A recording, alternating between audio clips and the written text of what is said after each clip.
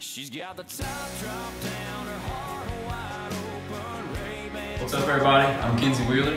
Now, I'm Cliff Brown, and Kenzie's album Dover just came out. We want to let you guys know that it's available on iTunes, Amazon, Spotify, Apple Music, CD Baby, anywhere you can pick it up. Go and get it right now. And click here and check out my video for Gotta Goodbye" on YouTube.